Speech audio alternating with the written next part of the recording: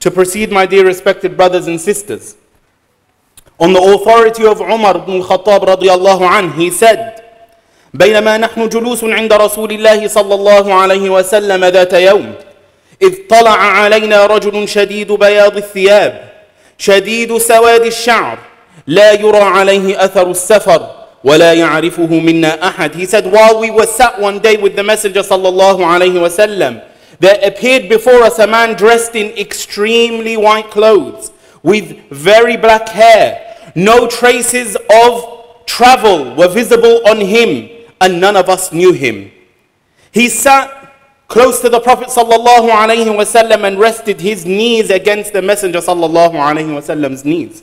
And he said, "O Muhammad, akhbirni anil Islam. Tell me about Islam." And so the Messenger sallallahu alaihi answered, "Islam is that you should testify that there is no deity worthy of worship except Allah, and that Muhammad is His messenger, and to perform salah and pay zakah." fast during Ramadan, and perform Hajj to the house if you are able to. And so he said, Sadaqt, you've spoken the truth. Omar said, We were astonished how he could question him and then affirm the answer as being correct. So he said, Akhbirni anil iman. Tell me about iman. What's iman? And the Messenger sallallahu alayhi wasallam, he said, to believe in Allah and His angels and His books and His messengers and the last day and qadar, divine decree. It's good and it's evil. And he said, Sadaqt, you've spoken the truth. Then he said, فَأَخْبِرْنِي عَنِ الْإِحْسَانِ Tell me about ihsan. What is ihsan? And so the Messenger sallallahu alayhi wasallam answered, أَن تَعْبُدَ اللَّهَ كَأَنَّكَ تَرَاهُ That you worship Allah as though you can see Him. فَإِن لَمْ تَكُنْ تَرَاهُ فَإِنَّهُ يَرَاكَ For if you cannot see Him, surely He can see you. And so he said, ask me about the hour, uh, tell me about the hour, the, the day of resurrection. He said, the question knows no more than the questioner. He said, then tell me about its signs. And he said, that the slave girl will give birth to her mistress, and you will find the barefoot, naked, and destitute herdsmen of sheep competing with one another in building lofty buildings. Then the man left. And Umar remained for some time. And so the Messenger sallallahu alayhi wasallam, he said, Oh Umar, do you know who the questioner was? He said, Umar said, Allah and His Messenger know best. And he said, فَإِنَّهُ جِبْرِيلٌ أَتَاكُمْ يُعَلِّمُكُمْ دِينَكُمْ It was Jibreel. He came to teach you your religion. And so this hadith, dear brothers and sisters, forms the basis, the foundation of our deen, of Islam what we owe Allah, what we must believe in, how we should perfect our, or the fact that we must perfect our worship rather, knowing that this world has an end, an expiration, which only Allah ta'ala knows its date, but there are signs in order for us to heed and to prepare. Islam and Iman are normally synonymous when they're mentioned individually, but when they're mentioned together, they have distinct differences. And Jibreel and the Messenger sallallahu alaihi wasallam defined these differences. Islam being the pillars, defined by its pillars, which is worship. And worship, dear brothers and sisters, the field of study of worship is fiqh, jurisprudence, law, the halal and the haram, what is makruh, disliked, what is mustahab or sunnah or mandub, what is encouraged, what is liked, and what is mubah, what is permissible. This is the study of halal and haram is found in the books of fiqh, in the study, the discipline of fiqh, governing your relationship with Allah. This the vertical relationship, and then the horizontal relationship between you and mankind, between you and the created world, the interactions that we, uh, uh, the interactions that take place between us and people and the living and non-living world on a daily basis. Iman, which is what we believe in. Allah, who is Allah? What are the qualities necessary to Allah? What are the qualities impossible in His right? And what is possible? The angels, what are the angels? What are they made of? What is our belief in them? What qualifies a book to be a book of Allah's? What qualifies a messenger? What are the conditions that, we must, that, was, that must be found in a messenger? What is divine decree? What is qadr? All of this is found in the study of aqidah. All of these terms we are familiar with, dear brothers and sisters. Ihsan may be a term that we are not as familiar with. Ihsan, which means to beautify something and to make something perfect, was defined by the Messenger sallallahu alaihi wasallam as worshipping Allah as though you can see Him. That is actually the definition. And when that is not accomplished, then know that He can see you. But knowing that He can see you is not ihsan. It is the level preceding ihsan. It is the level that aids you and enables you to attain ihsan. Ihsan is the evidence of faith. It's the reflection of Allah's qualities in you in the human form. It is the emulation of the Messenger sallallahu alaihi wasallam. Ihsan, dear brothers and sisters, has synonymous terms through, within our Islamic tradition. From suluk and tarbiyah and akhlaq and what is more commonly known, what is more commonly known as among people, tazkiyah, purification. Dear brothers and sisters, all of the sciences of the religion have received a great share of attention by scholars over the ages. They've been systemized and taught in a methodical manner. You learn the basics. No, nobody jumps to becoming a scholar overnight. Your teacher, your, your, in fact, our parents first, our first teachers were our parents. They taught us how to pray. And we're taught basic our, our basic fundamentals of faith and belief. And that is sufficient for the person. That is sufficient for the Muslim to meet Allah, absolved of any wrong, of any blame. That is sufficient. If a person wishes to excel, then there is a curriculum that they must follow. And so too, uh, uh and, and, and, and so that step by step uh, uh, gradualism in reaching and attaining the high and lofty stations of knowledge is a method no two people disagree on, except those who believe that they can self teach themselves to become scholars, self taught scholar. And those people beware of them, for they are more dangerous to us than a self taught doctor. Doctor, where did you graduate from? Where did you study? Where did you practice? Oh, uh, I taught myself on YouTube. Oh, I'm never going to go near a doctor like that. But we go to people who claim knowledge and they are self taught. They read Wikipedia pages, entries, and they made notes from YouTube videos. And they are now scholars and muftis. And so beware of those people. When it comes to tazkiyah, dear brothers and sisters, perfection of our worship, we generally do not give it the same importance as we give the hard science, sciences as they've become, uh, as they have uh, come to be known. Now we know, of course, that Allah subhanahu wa ta'ala he forgives all the sins, regardless of how large or small they are, the major and the minor, how frequent or infrequent we commit them. Allah wa ta'ala forgives all sins because we are prone to committing sins and making mistakes. And He said, قل يا عبادي الذين أسرفوا على أنفسكم لا تقنطوا من رحمة الله إن الله يغفر الذنوب جميعا إنه هو الغفور الرحيم Say, meaning, O Muhammad, O my servants who have transgressed against themselves by sinning, do not despair of the mercy of Allah. Indeed, Allah forgives all sins. Indeed, it is He who is forgiving and merciful. We know, dear brothers and sisters, that this is not an open invitation to, from Allah subhanahu wa ta'ala for us to sin as much as we like, but rather it's a reminder that we should never tire of asking Allah for forgiveness because He does not tire from, from forgiving us. He does not turn His servants away. But this isn't the highest degree of faith.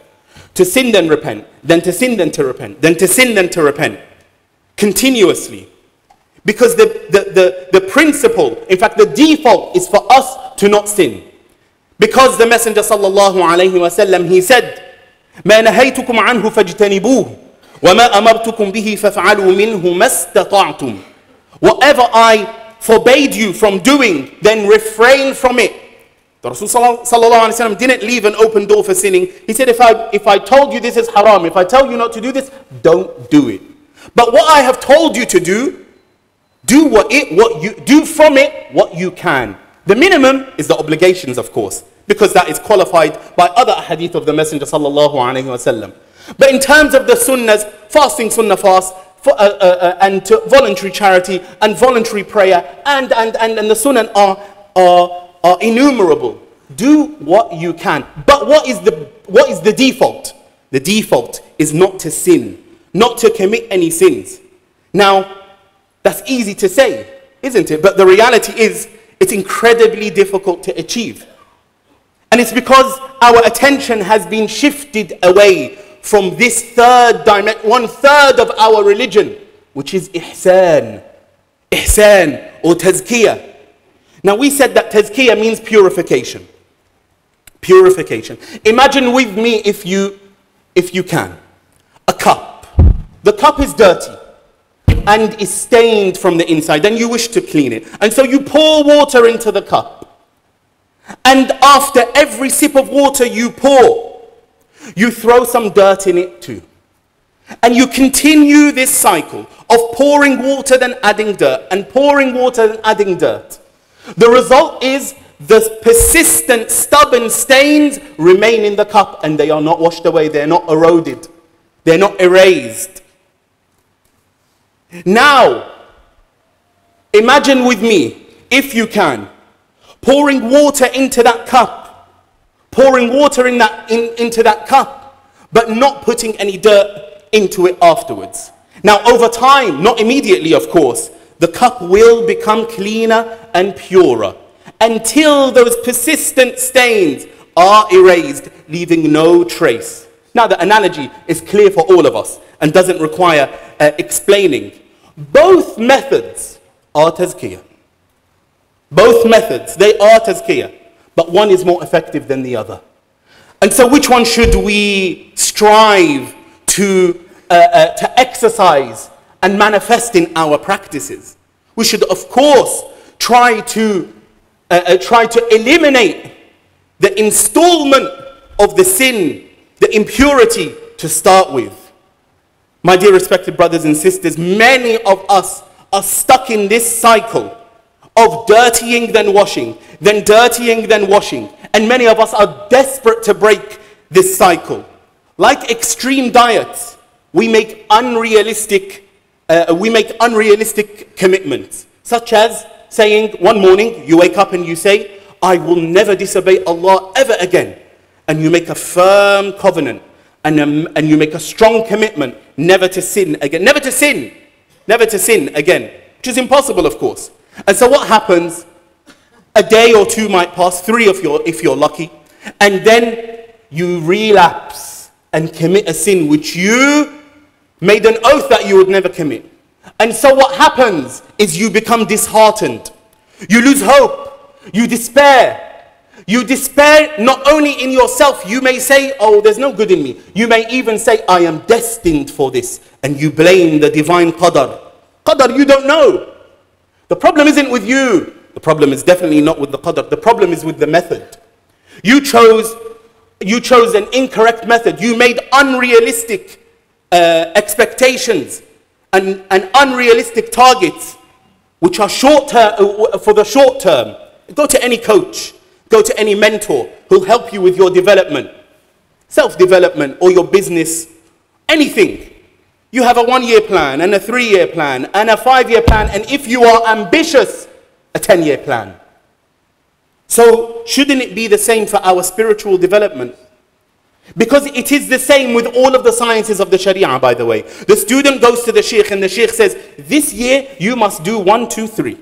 And in three years' time, you must accomplish one, two, three. And in five years, you need to have this. And in 10 years, if you are a hard-working student, you should reach this level of knowledge. It's done in every single field. But why is it that when it comes to hard graft, we assume that tazkiyah will be a dua and we're done. Ramadan set for the year. Tazkiyah is not about huge leaps, my dear respected brothers and sisters, but rather small, consistent steps. It's It's not a new age coaching method, rather, it's the prophetic method. The Rasul sallallahu alayhi wa sallam, he said, أحب الأعمال إلى الله أدومها وإن قل. The acts most pleasing to Allah are the most consistent, even if they are small. Now, brothers and sisters, just like there is no one single legal school of thought, there's no one madhab in fiqh, and nor will there ever be one madhab. There, are, there is also not one madhab, one school of thought in tazkiyah. But they all share. Any sheikh you go to, any mentor, any coach, they must all have the same basic principles. And the most important one is gradualism. The mouth earns hasanat and also incurs sins. So too does the ear, so too do the eyes, so too do the hands, so, so too do the feet, and the stomach and the private parts. What should you do then? Start with the repeat offender, the most frequent offender. It may be your eyes. You want to break the habit of looking at what is haram. And so, start with logging your sins. If you start a diet, or you want to change your lifestyle, they tell you first count your calories, everything that you eat, just so you know what you're, what you're consuming. I exercise, but I'm not losing weight. Okay, but what are you eating? What are you putting in? Stop looking at how I'm going to burn it off. Huh? The hasanat to replace the sins. Yes, that's good. But why sinning first? Why major sins first? So, log your sins. And then make a firm commitment. In one month, I will break this habit. Okay, I fail, I start again. I fail, I start again. Okay, what if I continue to fail and I never reach the term, a month, which it takes a month to break or to make a habit? And that's one of the wisdoms behind fasting for the month of Ramadan. I fail over and over again, then know that there is something stopping you. It's your environment, it's your friends, it's the company that you keep. So it's something outside of you which you must change. And then you move on to the next organ, and then the next. And with the help of Allah subhanahu wa ta'ala, after time you will master your senses and control your nafs and attain a minimum state of purification. Brothers and sisters, Allah subhanahu wa ta'ala loves to see his servant strive in his cause. And his pleasure is the most worthy cause. Is the most worthy cause. And so he helps. He doesn't just leave you just to do the hard graft and he doesn't assist you because it's impossible without his help. And that's why he said جل جلاله إن حديث قدسي إذا تقرب العبد إلي شبرا تقربت إليه ذراعا وإذا تقرب مني ذراعا تقربت منه باعا وإذا أتاني مشيا أتيته هرولة He said, my Lord, uh, uh, he said, if my slave comes nearer to me, comes near to me a handspan, I come near to him a cubit. And if he comes near to me a, nearer to me, a cubit for a cubit, I go nearer to him with an, an, an arm span. And if he comes to me walking, I come to him running. So, my dear respected brothers and sisters, start. Put your foot on that path. Make the move towards Allah because He moves to us faster than our moves are to Him. We ask Allah subhanahu wa ta'ala to purify us and we ask Allah subhanahu wa ta'ala to rid us of all sins and to aid us against the shaitan and against our nafs. Walhamdulillahi rabbil alameen.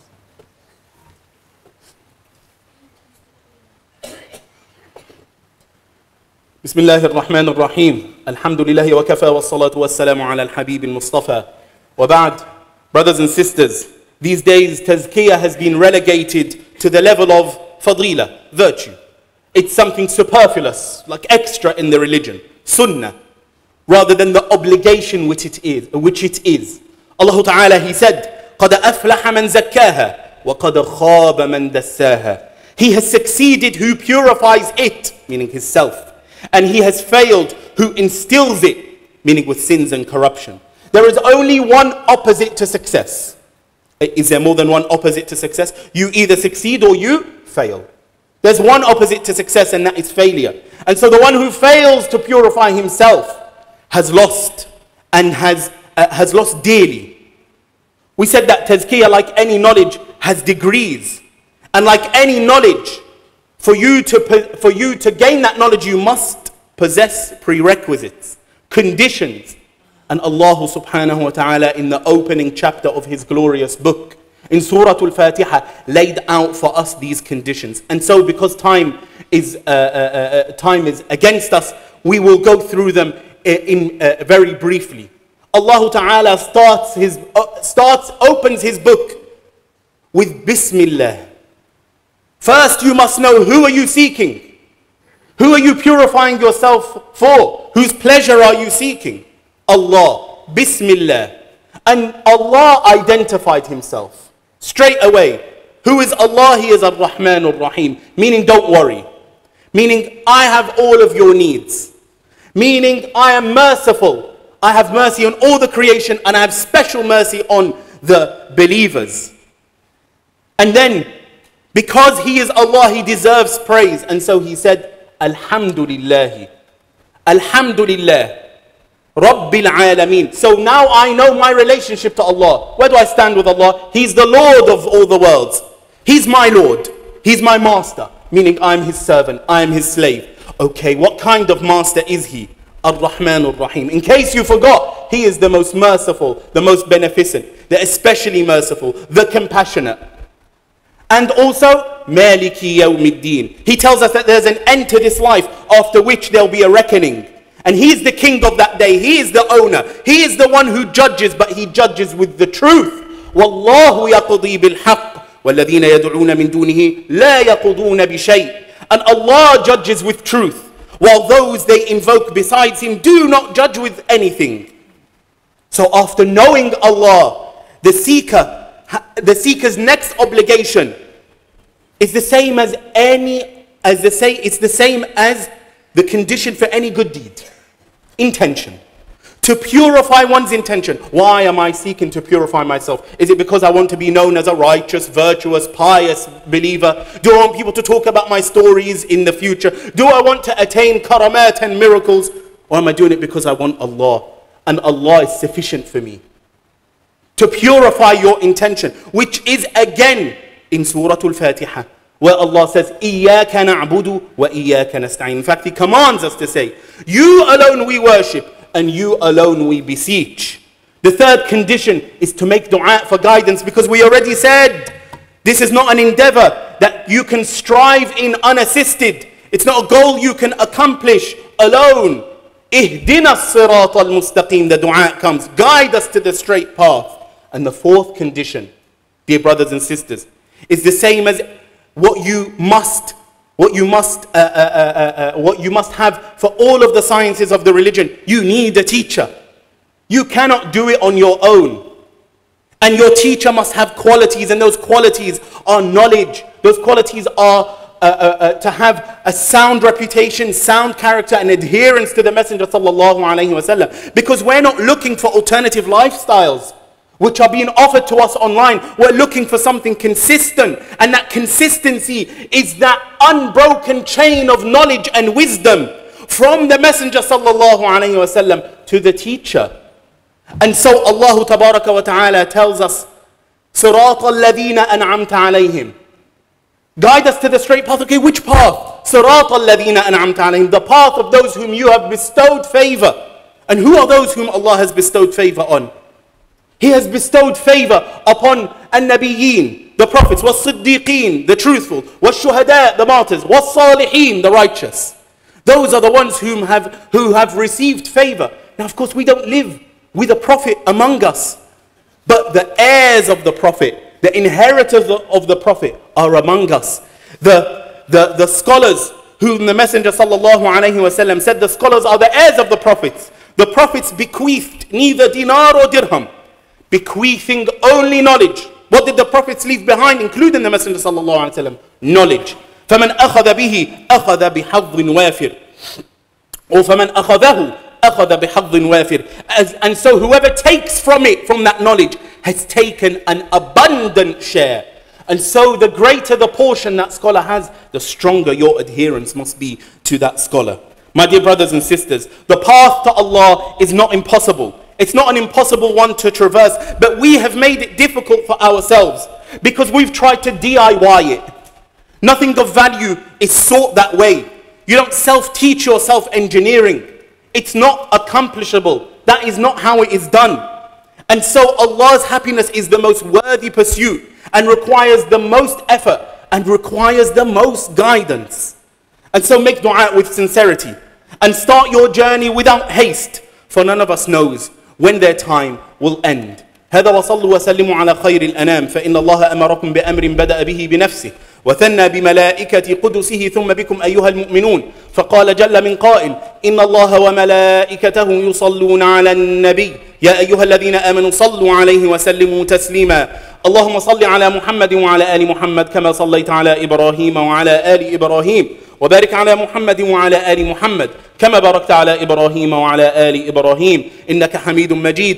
اللهم أعز الإسلام والمسلمين وأذل الشرك والمشركين واعل بفضلك كلمتي الحق والدين. اللهم أرنا الحق حقا وارزقنا اتباعه وأرنا الباطل باطلا وارزقنا اجتنابه. عباد الله رحمكم الله. إن الله يأمر بالعدل والإحسان وإيتاء ذي القربى وينهى عن الفحشاء والمنكر والبغي يعظكم لعلكم تذكرون وأقم الصلاة.